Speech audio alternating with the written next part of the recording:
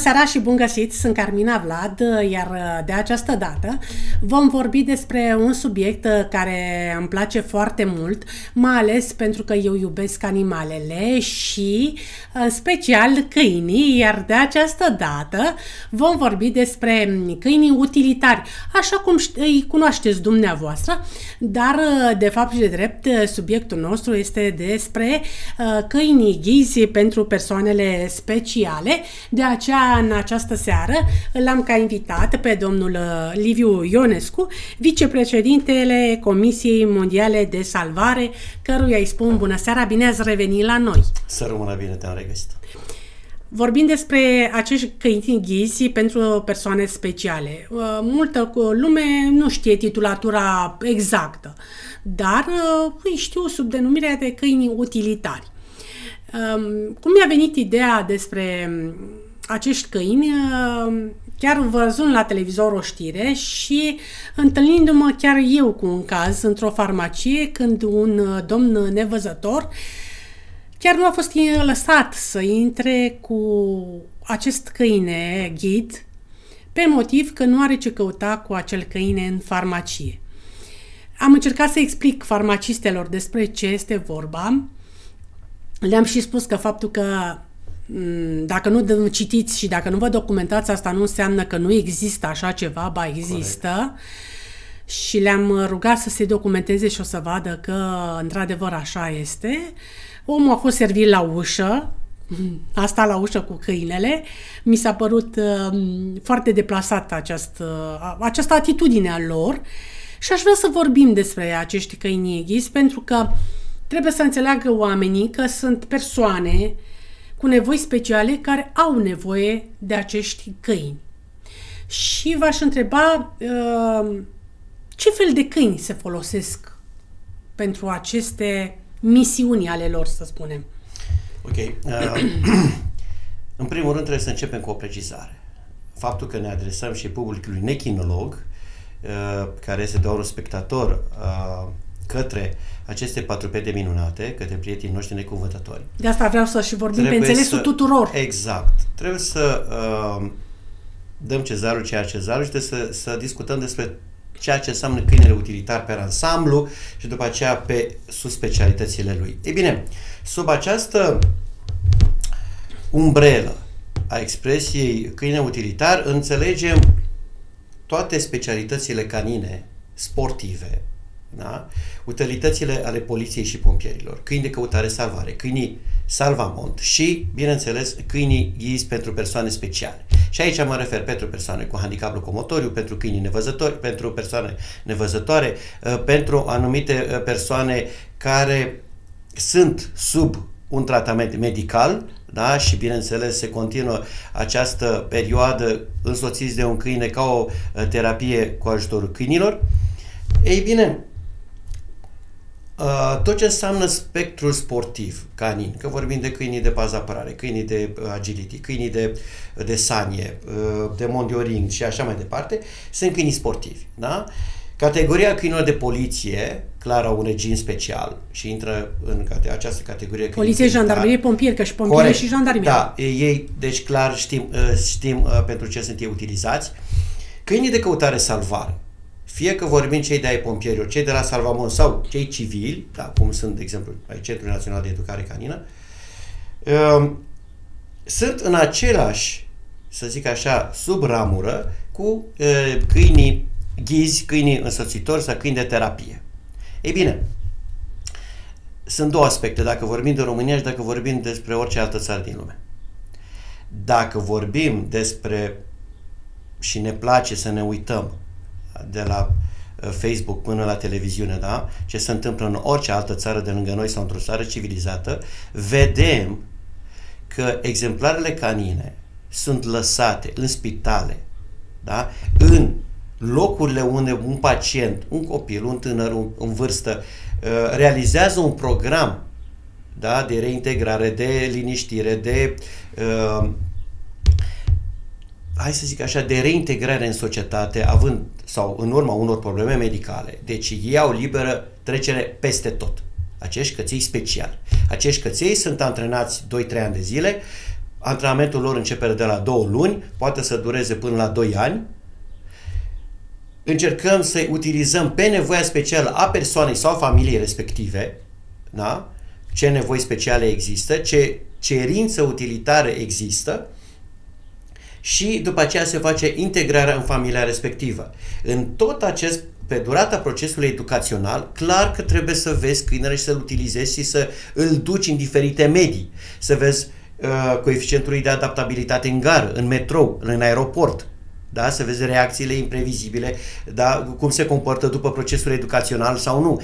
În funcție de capacitățile lui și după gradele lui de selecție, vedem temperament, caracter și uh, mai ales aspectul uh, psihoeducațional. În momentul în care știi că este utilizat, cu mai ales către segmentul uh, copiilor, da? celor tineri, segmentul juvenil, clar că acel cățel va intra în spitale, va intra în anumite zone unde, se, uh, unde are loc reintegrarea copilului sau uh, liniștirea copilului sau, eu știu, perioada de, uh, de desfășurare a anumitor programe medicale sau de recuperare. Uh, în schimb, când revenim în România, ar trebui să fie o mai mare deschidere. Open mind în asemenea situație ar trebui să existe peste tot. Clar că la noi este un, din punct de vedere legislativ, este așa o, o nebuloasă și de interpretare și nu este concret, da, specula, uh, precizat, da, exact în cazul în care are voie, nu are voie liberă trecere sau nu. Este la latitudinea bunului simț, al înțelegerii, a deciziei managerului sau administratorului acestei instituții, fie că vorbim de farmacii, fie că vorbim de aeroport, fie că vorbim de un spital, de o grădiniță, de exemplu, sau de o școală, da? Une, un copil poate fi însoțit, indiferent ce probleme are, de la cel care este pe scaunul rotieră, nevăzătorul, ADHD, indiferent ce probleme are, poate fi însoțit da? de cățelul lui, special antrenat, care este bine uh, identificat pe harnașament, fie că vorbim pe ham, pe zgardă, ori are un, un indiciu, vine, scrie pe el, este un câine ghid, câine de salvare sau rescue, cum da, folosim expresia internațională în limba engleză. Um, el este un partener de viață a persoanei respective. Nu este o umbrelă, nu este o unealtă, nu este da, uh, orice altceva. Dar El are un regim special. Faptul că el nu este lăsat să intre persoana respectivă, copilul, ce mi-ai spus puțin mai înainte, cazul ăla care e deprimant, dacă se întâmplă da. undeva, ă, să fie lăsat în stradă, nici măcar să nu intri tu și să stai cu câinele afară, să fii servit la ghișeu sau pe ușe, mie mi se pare o lipsă de civilizație, lipsă de informare a persoanei care a, a luat această decizie uh, și a încercat să rezolve această problemă, de fapt nu e o rezolvare. Dar să uh, vedeți cum se uitau farmacistele între ele, pentru că își, își dădeau așa, uh, nu poate că nu era una lângă alta, dar își dădeau din număr una alta eu nu știu, dar nici cum eu nu știu. Cum să vedești că acea persoană este nevăzătoare și da. că vezi cum câine ghid, adică este aberant. Să adică nu lași. Normal că îl, îl vezi și vezi ce, ce, ce Am încercat să are și vezi ce și le-am arătat pe telefon. Am scos da, telefonul și în România așa se ne ocupă tot timpul, dar... Da. Dar vreau să vă întreb ceva, scuze că vă întrerup. Te rog. Uh, spuneați dumneavoastră de antrenamentele astea care durează și 2 ani de zile. Da.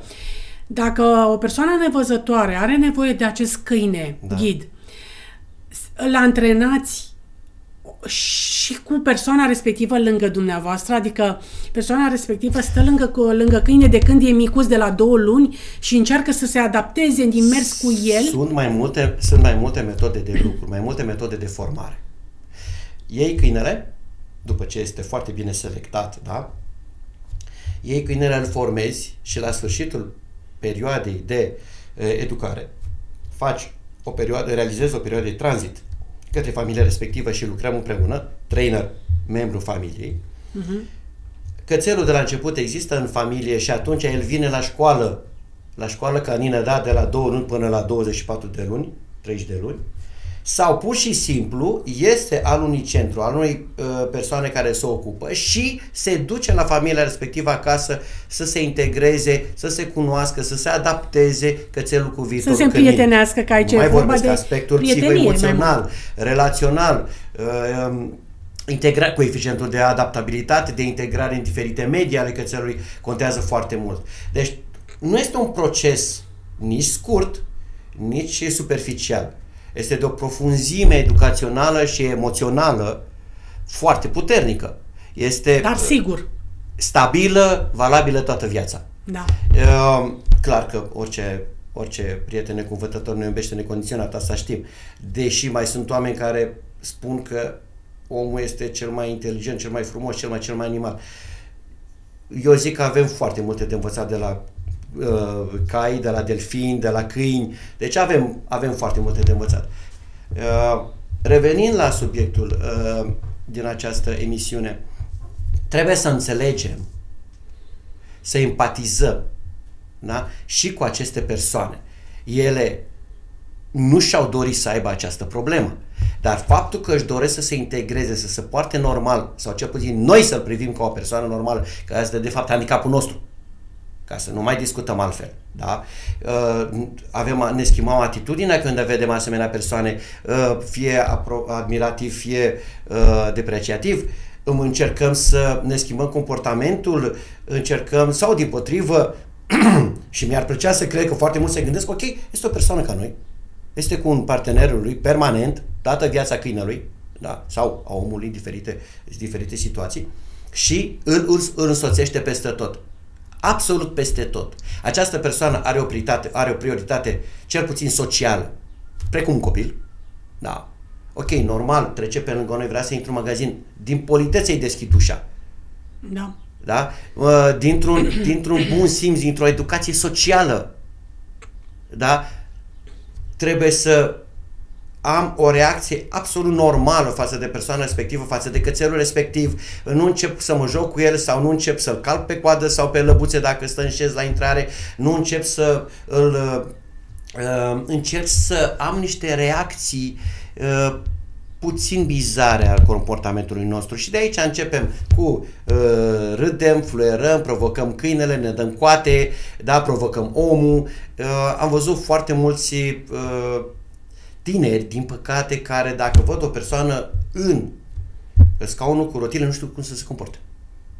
Și unii râd, din păcate. Nu mai vorbesc. Asta spun, nu știu cum să se da. comporte. Fie uh, privesc de sus, fie uh, da, cu zeflemea, fie că uh, își dau coate, fie că așa și nu mă interesează de la o parte că am prioritate, eu mă grăbesc. Deci nu știu, din păcate. Aici denotă gradul de civilizație al poporului respectiv, al zonei respective, al orașului respectiv, al generației respective. Educația din familie, domnul Ionescu. Păi acolo e baza. Da. De acolo plecăm. Ce să mai vorbim? De acolo plecăm. În momentul în care vedem că părinții neagă, refuză să vadă un comportament atipic, necivilizat, antisocial al copilului, acolo e o problemă. Da? Minimalizează uh, reacția copilului și care, bineînțeles, da, uh, este în centrul atenției din punct de vedere negativ, atunci clar că această idee, acest comportament, acest tip de reacție uh, intersocial va și comportament uh, uh, intersocial se va perpetua din generație în generație. Ceea ce face câinele nostru este că, indiferent de provocări, este pasiv, 100% atent la proprietar, uh, încearcă să-l facă pe acel om extrem de fericit, să aibă încredere în el tot timpul, să-i schimbe starea dacă este depresivă sau eu știu ce probleme are, da? este într-o permanență stare de joacă, dar în gardă. Este de o concentrare fantastică 24 din 24. Mai mult decât atât, în tot procesul educațional câinele este obișnuit să facă anumite lucruri. Gradul lui de adaptabilitate și gradul emoțional de integrare în familia respectivă pe care nu o văzuse până atunci sau dacă o văzuse era o perioadă tranzitorie, să îți schimbi starea persoanei respective, a familiei respective, ca el să fie o plus valoare, o bucurie maximă, este mare lucru. Avem de învățat de la acești căței. De aceea, în programul educațional, pentru câinii utilitari, trebuie să îi lăsăm pe trainer, pe proprietari, să intre în diferite medii, să intre în diferite uh, conexiuni, grupuri de oameni, în anumite zone, tocmai pentru a obișnui acel prieten necuvătător, cățelul, să știe la ce se așteaptă inclusiv să facă socializare de grup în mijlocul a 15-20 de tineri. să vadă ce reacții au, să vadă diferite comportamente, să vadă reacții imprevizibile, țipă, râd, urlă, fluieră, adică obișnuirea cu anumite frecvențe. Este un proces extrem de lung, complet, complex, dar trebuie să fie lăsați de către societate. Dar vreau să vă întreb ceva. Uh, spuneați dumneavoastră că durează cam 2 ani de zile antrenamentul. La această vârstă, după 2 ani de zile, să spunem, uh, pot ei să fie uh, numiți câini înghizi. Dar există posibilitatea ca un câine să fie gata de a fi declarat câine ghid mai devreme de 2 ani? Da, sunt cazuri. Sunt cazuri, depinde de la câine la câine. Dacă exemplarul respectiv a crescut cu familia, cu pacientul respectiv, cu subiectul respectiv, da? el și poate să fie și la 18-20 de luni. Mm. Dar, dar, primele teste se fac după vârsta de uh, 12 luni. După vârsta de 12 luni, cățelul poate fi trecut printr-un acest test, acel test se numește TSAC, acel test de sociabilitate și aptitudini canine, canine să-l vezi cum reacționează. După vârsta de 15 luni poate fi testat pentru specialitatea respectivă, de exemplu și la salvare. Da? El, după vârsta de 12 luni, poate fi testat în acest uh, examen, de această evaluare de, de, de TSAC. După vârsta de 15 luni îl poți evalua ai dreptul, este o condiție minimă vârsta, da? Poate să aibă aptitudini, poate să știe foarte multe, să fie învățat, dar el, având în vedere vârsta, clar, experiența limitată, uh, uh, rezerva uh, din punct de vedere educațional, având în vedere că nu știi cum reacționează, comportamentul, da, experiența de competiție sau de viața reală. Și atunci, după vârsta de 20 de luni, poți să spui 20-24 de luni, poți să testezi cățelul în specialitatea respectivă, să spui da, ok, este, poate fi, e în lucru sau a absolvit un test pentru a, în specialitatea respectivă. Mai mult, Asociația Chinologică Română dă fiecare exemplar canin. Da? O, carte, o cărticică, se numește carne de performanță. Acolo îți atestă data, locul, evaluatorul, da? calificativul, specialitatea, nivelul specialității exact cum spuneați mai înainte, orice persoană care are un câine de terapie, un câine de salvare, un câine, deci un câine care e cu un regim special, utilitar în, aceast, în, această, în acest segment mare, că el de fapt nu mai este un câine sportiv, e un câine social până la urmă. Da. Da? A trecut de mult de latura sportivă. El primește acest cățel al carne de performanță împreună cu carnetul de sănătate obligatoriu să aibă la el. Când vii cu aceste documente la marketul, la farmacia, la eu știu, în fața unui magazin și arăți documente, degeaba le arăți dacă nu știe persoana respectivă să le Exact citească. așa spunea domnul respectiv. Păi degeaba am, le arată că, Am okay, documente la el, am acte uh, doveditoare pentru acest câine da. și tot nu l-a lăsat da, să intre în farmacie. Da, da, da, dacă nu Lipsa de informare, citești. exact ce discutam înainte de emisiune, lipsa de informare a persoanei respective nu este problema proprietarului. Da. Da? Dacă îl vezi și ai auzit măcar, Facebook, Instagram, Twitter, acum suntem, nu ne trezim și nu adormim fără, fără da. să mai dăm o tură pe acolo, da? Este imposibil să nu auzim de acest, acești căței, da? Specialitatea canină cel puțin, că există în orașul nostru. Măcar să citesc, domnule, ce înseamnă asta?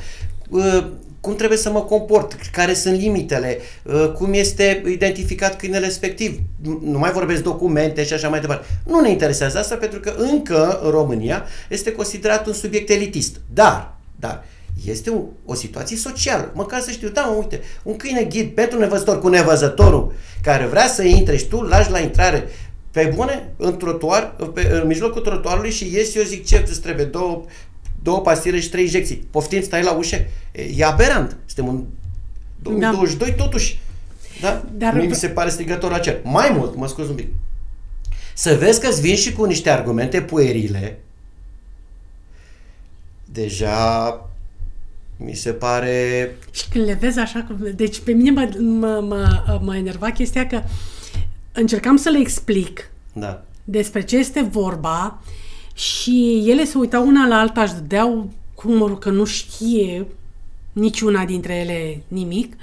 Am scos telefonul, le-am explicat și tot la ușă l-au ținut Și dânsul tot, dânsul acest nevăzător, ce lăsați, doamnă, că stau la Aici ușă. vreau să, Vedeți? să atac acest subiect. Uh, Adică tot dânsul cu bun simț în Așa se dumnealui întâmplă.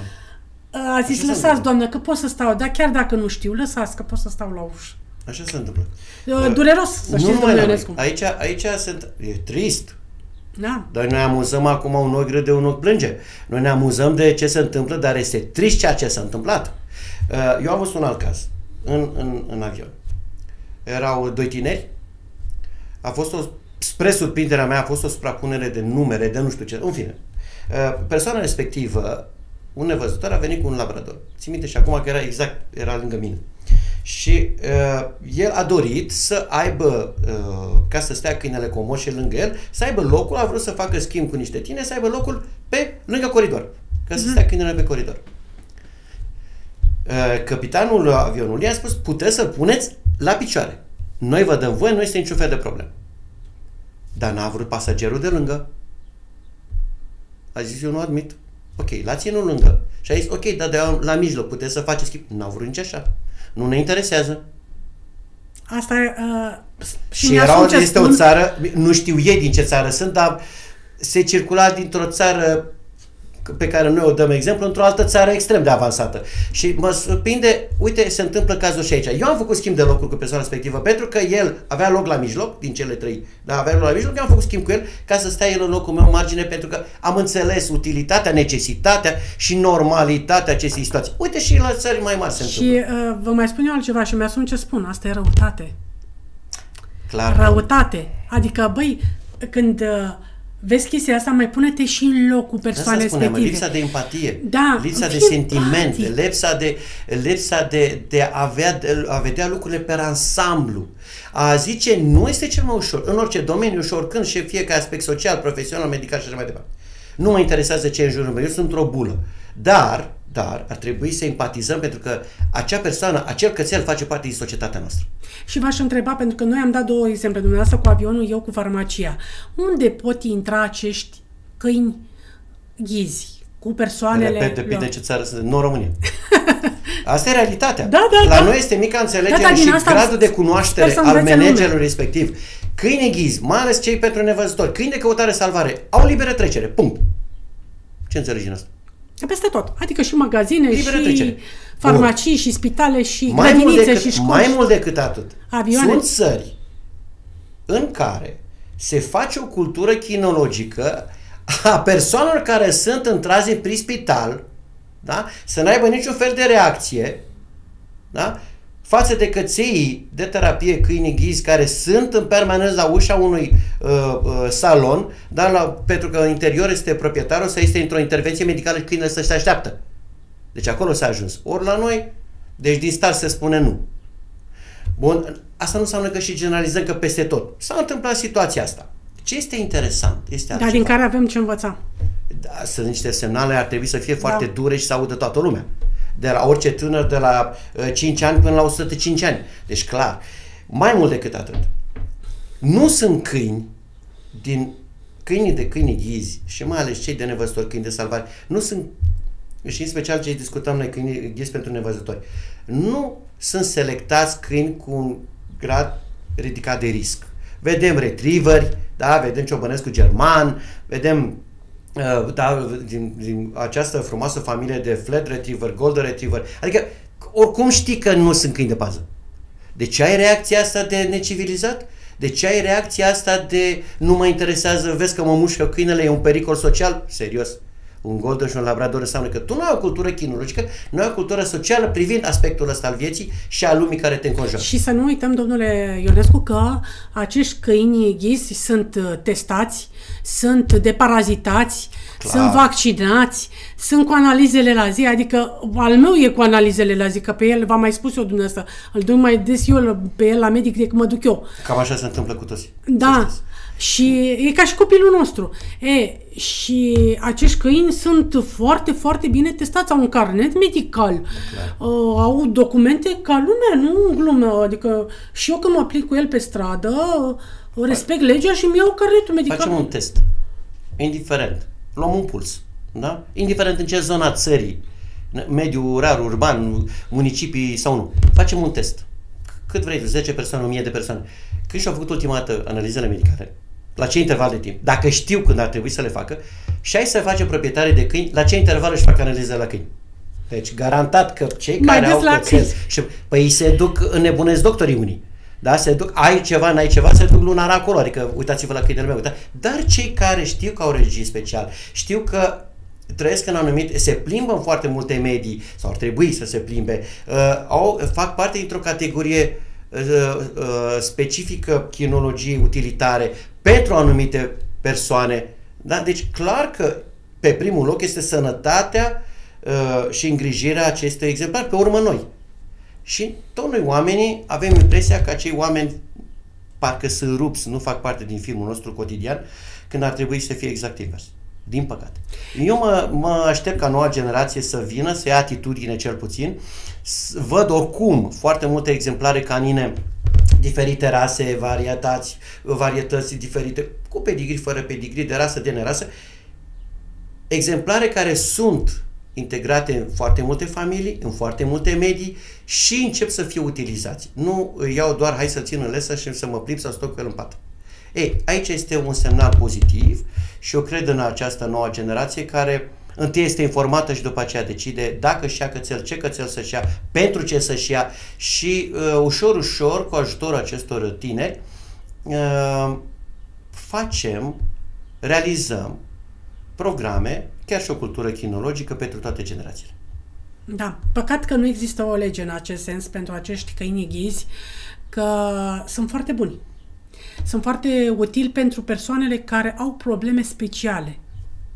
Din Indubitabil. păcate, uh, nu există o lege clară, dar uh, asociațiile astea chinologice, Da. uh, de exemplu dumneavoastră, că toți sunteți uh, Da. vicepreședintele Comisiei Mondiale de Sa- Sa- Salvare, nu propuneți o astfel de lege, adică să fie La pusă... nivel mondial, când se fac anumite propuneri, Mă refer la România, că în străinătate da, mai e altceva. Organizațiile mondiale, de exemplu, de Federația Chinologică Internațională, face recomandări. Nu poate să impună. Da? Comisia Mondială de Salvare a Federației Chinologice Internaționale face recomandări. Anumite recomandări uh, chinotehnice către toți membrii, da, reprezentanții Federației Chinologice Internaționale. Ce se decide de la țară la țară depinde de legislativ, depinde de uh, cum este privită, depinde de nivelul de înțelegere. Uh, De cultură, cred. Mă opresc aici ca Educație. să nu intru și mai rău. Dacă se vrea sau nu se vrea, adică Dar oare în privim pe Parlamentul ansamblu. României nu există oameni care, parlamentari, care au un câine sau un animăluț acasă, uh, eu nu sunt cred că iubitori? Nu, nu, cred că dacă Păi și atunci luăm de un ce curs, nu cred că și- jumate dintre ei au animale. Nu își pun la uh, întrebarea asta, băi, oare putem face ceva și pentru oamenii cu nevoi speciale, o lege specială ca să putem folosi acești câini Noi avem ghizi? alte probleme mult mai mari, sau așa o- le văd ei. Dar, dar Dar nu în trebuie să-i România, neglijăm în pe acești România, oameni. în România există o, o mică mare problemă. Noi ne complicăm viața, noi ne complicăm problemele, noi ne complicăm uh, modul de a interpreta anumite situații când lucrurile sunt mult mai simple și directe. Depinde de noi dacă vrem. Așa este, depinde de noi. Eu vă mulțumesc din suflet pentru că Mare drag. ați uh, venit și am discutat acest subiect. Sper că uh, cei care ne, ne-au urmărit pe această uh, emisiune să învețe ceva și mai ales uh, cei care sunt patroni de magazine, de farmacii, de mă, și în instituțiile publice să înțeleagă că acești câini ghizi sunt folosiți pentru persoane cu nevoi speciale și să-i lase să intre în aceste instituții pentru că nici persoanei respective, de exemplu, nevăzător acela, nu-i convenea poate că el nu vede. Dar așa este soarta unui om și trebuie să îi ajutăm și pe aceștia să ne punem în situația lor, să fim empatici și să-i ajutăm. Mulțumesc încă o dată! Cu mare drag. Aici punem punct emisiunii din această seară. Vă mulțumesc și dumneavoastră pentru atenție. Săptămâna viitoare începem ediții speciale dedicate copiilor celor care poartă uniformă, pentru că în luna iunie este ziua copilului și este normal să îi cunoaștem pe copiii celor care poartă uniformă. Până atunci vă doresc o seară excelentă, toate cele bune, la revedere!